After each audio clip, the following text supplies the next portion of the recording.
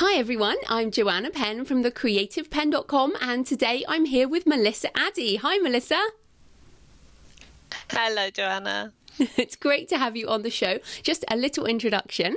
Melissa writes historical fiction, non fiction, and magazine articles. She a, has a master's degree in innovation and has worked in product and packaging development as well as business mentoring.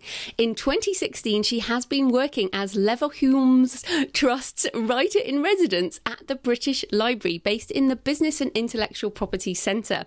And her latest book is Merchandise for Authors Engage Your Readers While increasing your income, which all of which I had to put everything in the introduction because it's so interesting. so Melissa, why don't you um, why don't you start by telling us a bit more about your background and how story and business have intersected in your own history and how you got into writing? Okay, so I spent about 15 years in the business world, mostly for retailers, so Sainsbury's and M&S and people like that. Um, first, doing a lot of product innovation and packaging uh, design and development. And then after that, I was mentoring entrepreneurs for a number of years. Um, and that was a really fun job because I just met all these entrepreneurs and they'd tell me their story and I'd try and find ways of helping them. And we had a grant giving program that we were doing at the time. And I think that sort of rubbed off eventually because when I started doing more and more of my own writing, um, I suddenly thought, well, yeah, let's go, let's go indie, let's do it my way because I got, I think it just rubbed off on me the way that they thought about things and the way that they treated their work as a business. Um, and I thought that was a really interesting way of doing things. And at the point, just at the point where I managed to go more or less full time, two small children, so it's not very full time. Um, but the point where I managed to do that with the writing, um, I got the chance to be at the uh, British Library, which was amazing. It's been the most brilliant year. Um, but with them, it was great because they have the Business and IP Centre. We did this bid which talked about the twin themes of storytelling for business and business for storytellers. So it was looking at writers being much more uh, entrepreneurial and business like about their work, and looking at businesses trying to be more creative and trying to find a way to tell their stories better. So that was brilliant for me because at the point where I was moving from the business to the writing, I had a chance to bring the two things together and work with other people on it and, and run workshops and think through my ideas. Um, and so on the on the storytelling side for the businesses, we came up with the storytelling entrepreneur, which is about how they can tell their, their stories better. But on the authorial side, we came up with um, uh, the, the, book about merchandise because I felt how come all these uh, writers aren't creating their own products, aren't doing their own merchandise when for indie filmmakers and for uh, indie bands, that's a big thing. That's something they do. So how come the writers aren't doing it? And if you go and look at literary merchandise somewhere, for example, like Etsy, you'll see a ton of the stuff. It's mostly for, for old dead writers because they're out of copyright, so everyone can make money from their work. So that's fair enough. But it, it shows that there's a demand out there. It shows that that people who love books also like having the products that go with those books. Um, and so I, I thought, okay, let's find a way of making that merchandise development um, interesting and, and easier for, for writers who might be new to it. So you started to talk there a bit about why authors should consider merchandise. You, you mentioned that there is a demand, and that's totally true. Like you, you see, um, I bought my husband some cufflinks made from the text of Lord of the Rings, which yeah. you know, which actually probably is not allowed. Well, you know, Lord of the Rings is still, I think, in copyright, but um, the you know they were using the kind of cast off pages from books, yes. so that's probably on the line of being acceptable. But um, sort of give us some other reasons why authors should consider merchandise in the first place. Like, what are the benefits?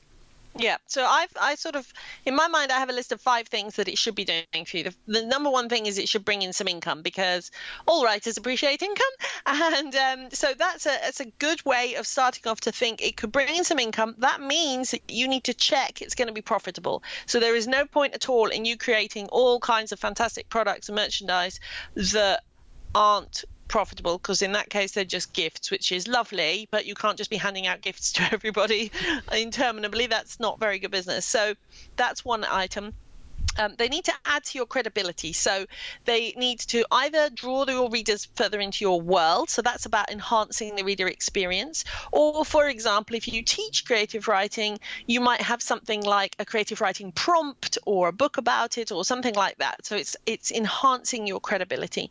Um, it can increase your readership because if someone comes across the product before they come across your books, they're going to think, wow, this is a fantastic product. So, so where is this coming from? Where are the books? And so then they're going to go and find your book. So that's a way of increasing your readership. And it can increase your visibility because it doesn't really matter if the person buying your product doesn't like necessarily your genre, for example, because they become aware of you, and that means they can spread the word about you because you don't know who they know who will say, Oh, but I really love such and such a genre, and they'll go, Oh, I know, I know this writer because I've got some of their items. Um, so that's a, a way of thinking about is a piece of merchandise worth investing the time in? If it can do some and preferably all of those things, then you're onto a winner. Yeah, and that's great. And um, I know people listening are going, ah, but I'm not a designer, and how do I make stuff? We're going to come to those things, people listening. So don't worry about that. We're just we're just proceeding slowly. So the first, the, the next question would be: you mentioned there, check that it will be profitable. So you know, in the in the romance author space right now, a lot of romance authors do a lot of what you were mentioning there would be more like gifts, like they're doing merchandise that are based on their books, but it's more of a fan giveaway type thing. So what's is that the difference between merchandise and a product or, or what how are you defining merchandise and products Okay, so merchandise and products. Um, I'm going to take the Harry Potter books because it just makes it very easy to explain.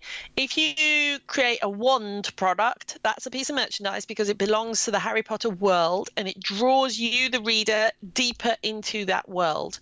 If, on the other hand, uh, J.K. Rowling was to bring out a range of notepads that's relevant to her as a writer, but it's not actually anything to do with the Harry Potter world. So it's just a product. And that's fine because some people have products rather than merchandise, but that's the difference between the two. People talk interchangeably about them as well, and I do it as well, but it's just worth bearing in mind what is it you want the item to do? Is it just a nice product that you're going to sell that has some relevance to you generally as a writer, or is it a piece of merchandise in which case it needs to enhance the reader's feeling and, and connection to the world that you've created.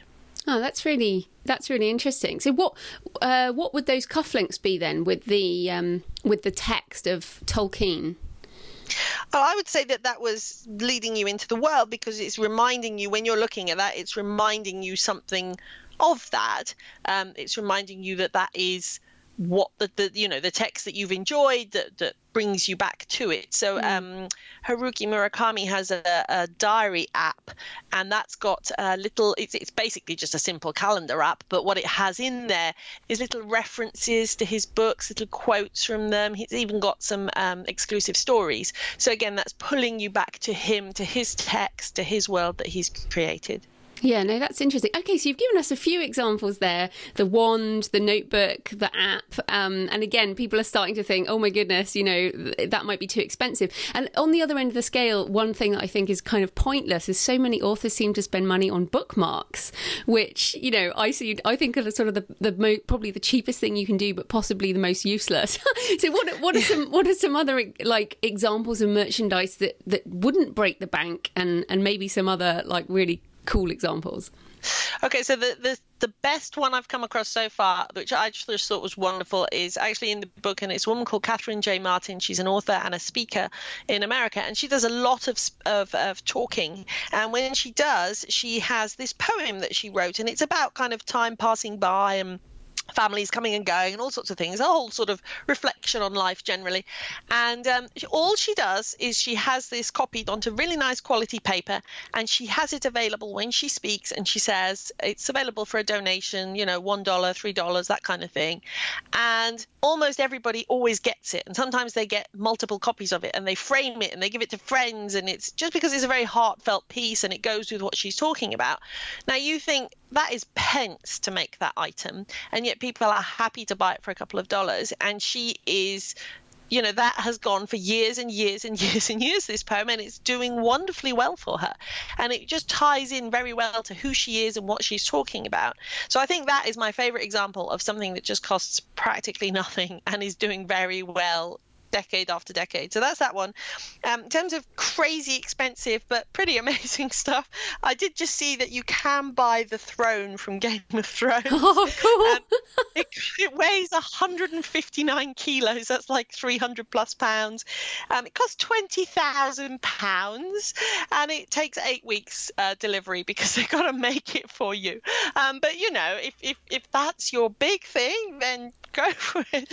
Um, but I did find that one quite amusing. Really. Wow. Do you know what? If it can't be the throne for 20 grand because i'm already thinking that would be really cool. I think it, they must be replicas. You know like they do replica of the one like my husband yeah it has to be a replica. My do, my husband does have a one ring in, in new zealand like all these shops selling the one ring. It's like it's not the one ring. There are lots of them.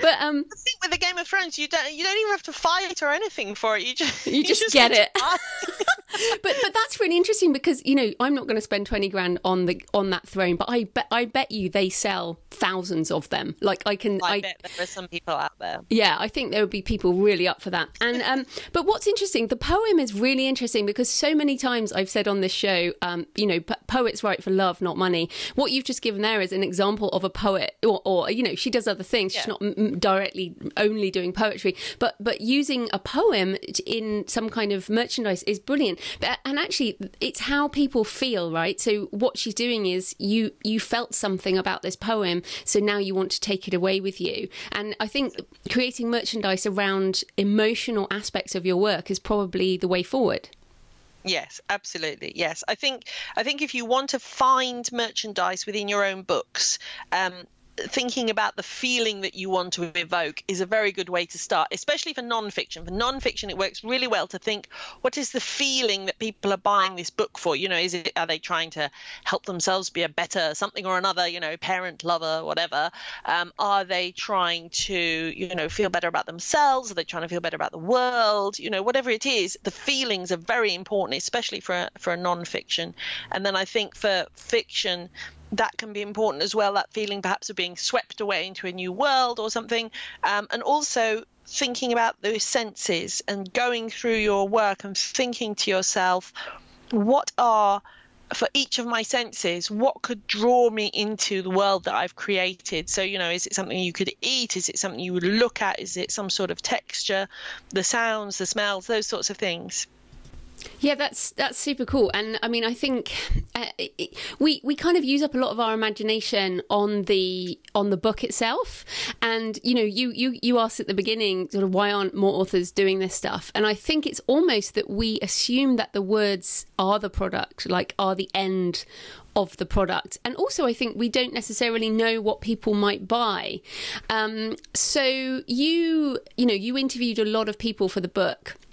And I imagine that some of the mistakes were not checking that people might actually buy this stuff. so yeah, so um, yeah, what what are some of the mistakes that people have made with merchandise? Yeah, so a couple of mistakes. Um, one, I mean, just generally not being profitable that is that is a mistake just straight from the start um, one uh, lovely author she did, she did a really nice little kind of um, you know like a postcard with a little image thing and a map and all sorts of really cute but she didn't package it as for sale and so people kind of came to events that she did and then just went, oh, that's nice. I'll just take that home then. And she's going, ah, uh, actually, no.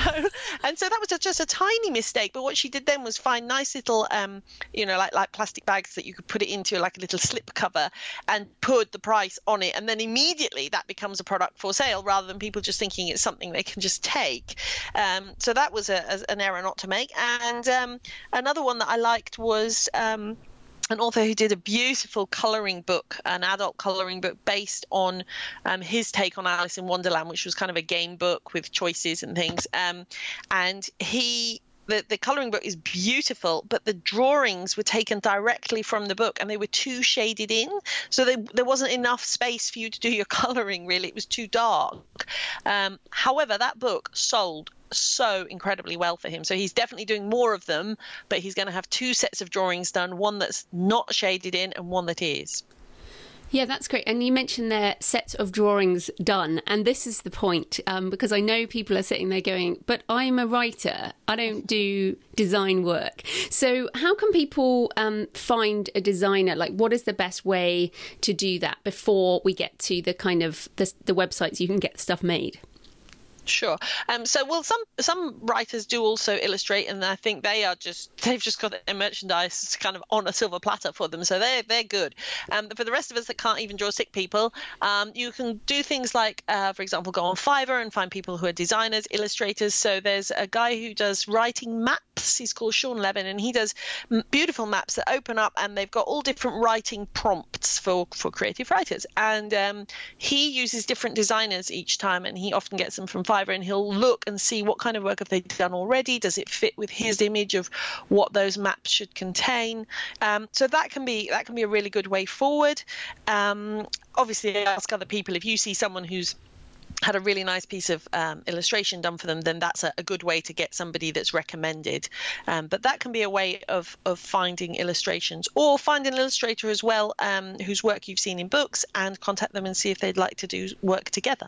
Yeah, and um, I'll mention a previous sponsor of the show, 99designs.com forward slash Joanna. Um, yeah. Nine, yeah, 99 Designs do a lot of this merchandise stuff design or graphic designers in general. So there are lots of graphic designers um, who are now doing book cover design who yeah. are originally, you know, kind of um, graphic designers. And this is, this is definitely an area that I would see many of those designers getting into um, over time. Yes. So yes. let's also just talk about um, briefly about IP rights to the copyright of images. So, how can people be sure that they are um, using images like and let obviously if you uh, commission something then you're getting something original but what should people watch out for when using images on merchandise Okay, so first of all, you need to make sure that, for example, if you've used an image from an image bank, you need to check under what conditions did you did you get agreement to use that. Um, and quite often, some images can be licensed, for example, for your website just to illustrate something nice, but they don't actually want you to use it in a commercial way in terms of selling that image on. Um, so that's something that you always need to check. They do obviously have licenses as well for using it commercially, so it's just being just checking if you buy it from an image bank which license you've bought it under um, and certainly if you're commissioning someone making sure that those rights are coming to you and that you're able to carry on using them so it's it, that's worth checking yeah, exactly. And and we as writers who make money from our copyright, from our intellectual property rights, it's so important that we get this image stuff correct. Um, so I really urge people to look at your license. So for example, I use Big Stock Photo to get um, images for the website, but I know, like you mentioned, they have a license on them. Also, sometimes the images we get for our book covers might only be licensed for, say, um, a hundred thousand copies, and that that might sound a lot, but but you never know if something takes off. Um, like I was talking with my designer we use one of the images we use on a number of books is a, a couple running um, and we use that on a number of books. So obviously if you use the same image on a number of books you know you're gonna you're gonna sell more. And then at some point we were like oh we might actually need to buy another license for that image. Yes.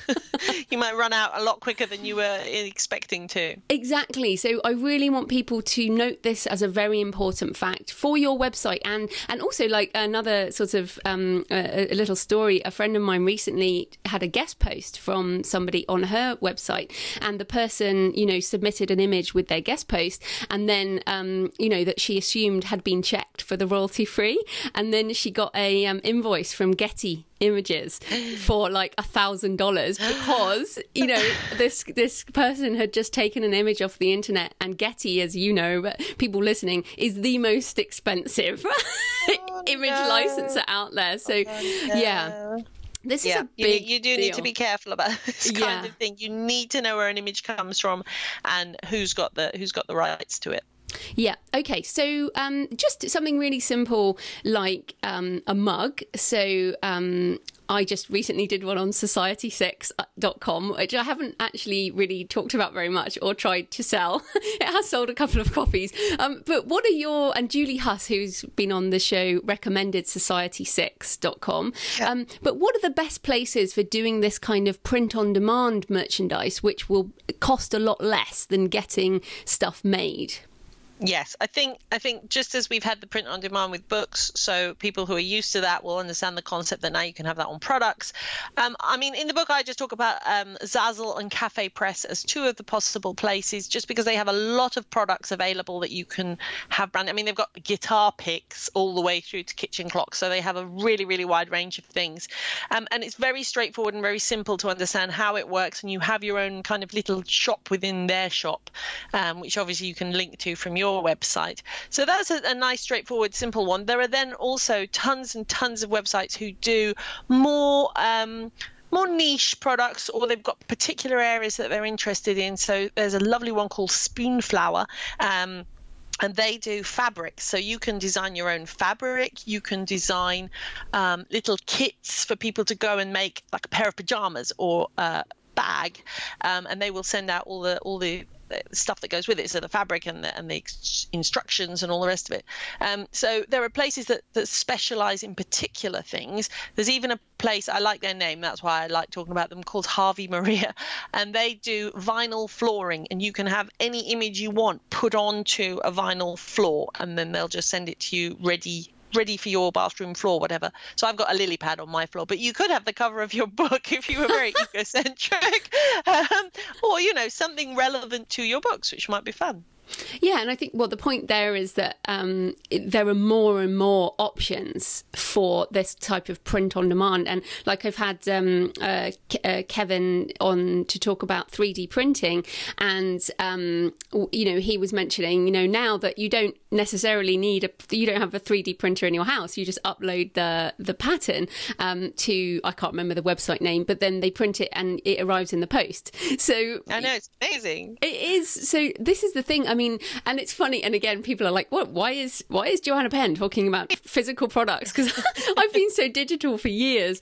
Um, but it is. I think it's really interesting. Now, let's just take it further. So obviously, with print on demand, as we know with with print books, um, you get lower profit. I mean, you don't have to pay up front, but your profit is lower. So, what if um, somebody goes, "Look, I know that I can sell um, a thousand, you know, two thousand mugs because I'm going to do this particular event, or I'm going to give them away in or in my ticket price for an event or something. So, I want yeah. two thousand mugs done. So, w- where are the places to look if people actually want to do this kind of short production run?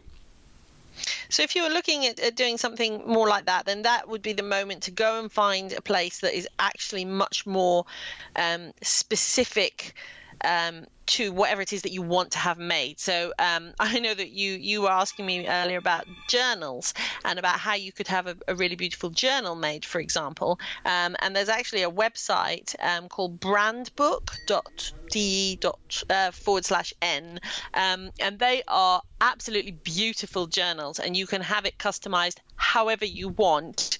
Um, and the, the, sort of basic ones start about 14 euros, which isn't that bad. And you buy 25 of them as a minimum, but they are they will do you know uh, you have to have multiple copies, not just one at a time.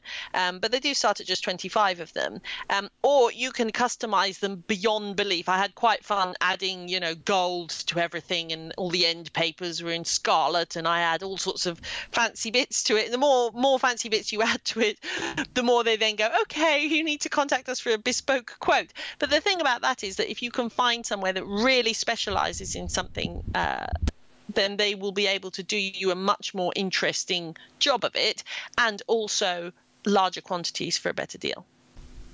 No, that that is awesome, and uh, you know, for people listening, I am definitely. Well, I say I'm definitely. I am really hardcore considering doing a premium notebook in 2017, like in time for the Christmas season, because uh, you know I use notebooks all the time, and um, a couple of other people I know have come out with these uh, custom notebooks this year.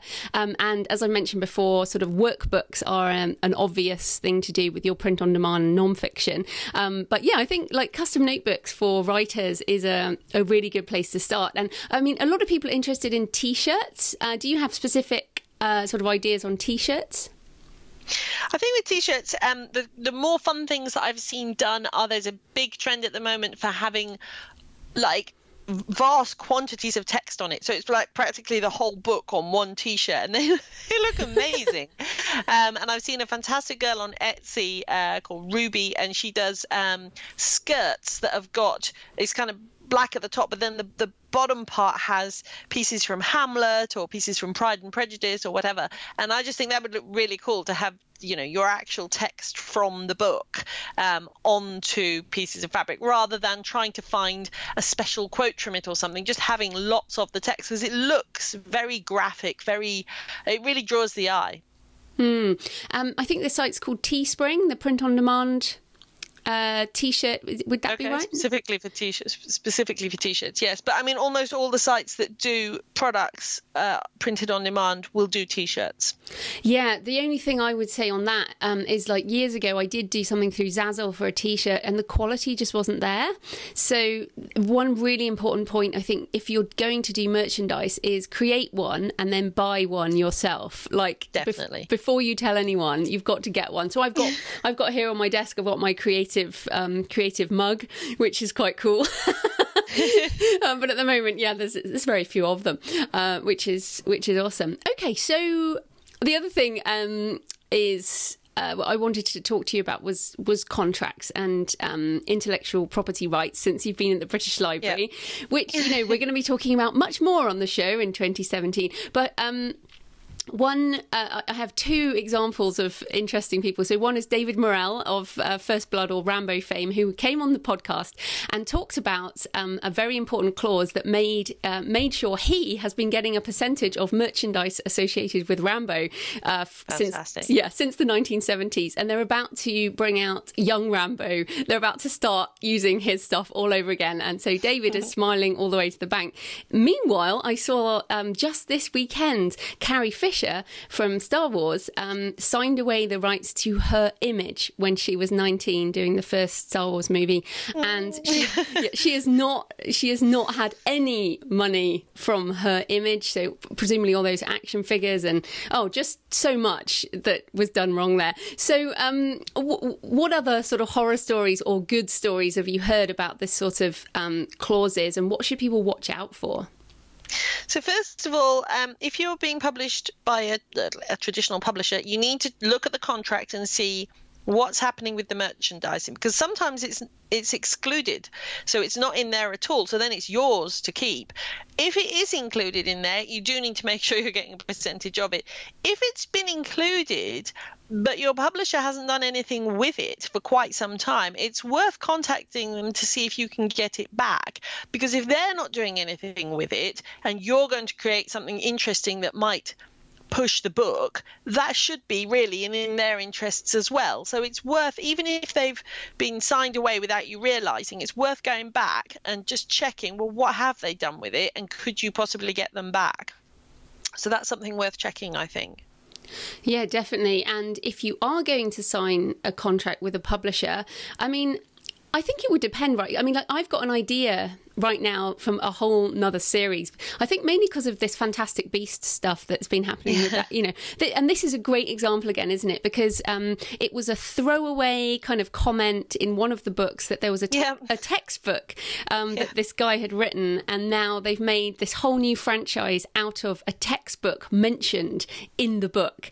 I know um, it's amazing. It is absolutely amazing, and um, so it, it I guess the question will be like, what type of publisher are you signing with? If you're signing with a small boutique press, it's very unlikely they're going to have the size and scale to actually merchandise your book. Like, for example, I would love my Arcane series to be, uh, you know, in gaming because it's very, yeah. you know, fighting and leveling and, and uh, sort of missions and stuff.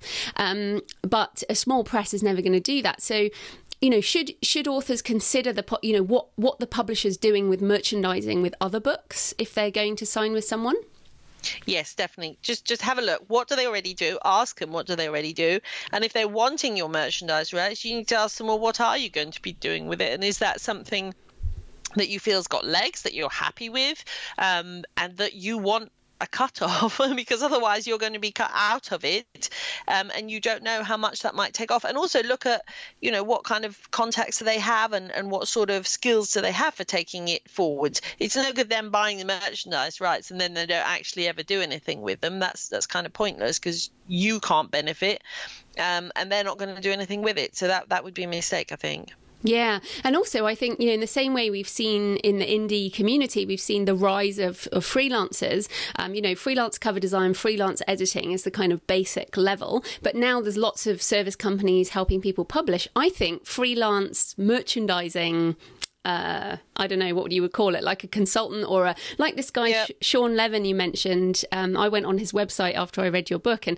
you know he does take pictures, and basically he acts more like a project manager, doesn't he, for sort yep. of organising merchandise? And I think that's a real gap in the market. Like I would love to sit down with someone and say, "Here's my ideas," and they're like, "Oh, well, we could do this, and you know this and that and the other," and, and they'd know all the right site. So, is there such a thing as a merchandise project manager? Not that I've seen yet, um, but I think it would be an interesting, interesting thing to get into. I mean, I think what you want is someone that's got a lot of contacts with with the illustrators, with the providers, who who actually you know the manufacturers, um, and who can bring that together in a way that works for each writer.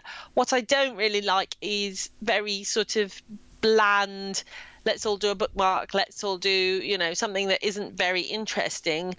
And then it, and then it's just you know your name on it or something. And it doesn't really pull you into the world or really add to the interest around that author. And that's why I think it's interesting to go more bespoke with items. So one of the things that I talk about is if you can have um, experience vouchers, for example, that would be an amazing thing because let's say that your your main character shoots guns a lot, you can have someone go to a firing range and actually try what it's like to shoot a gun. Or, you know, if somebody goes hot air ballooning, take them on a hot air balloon ride. And the, the link that that will bring to your world and their connection to your character is so strong.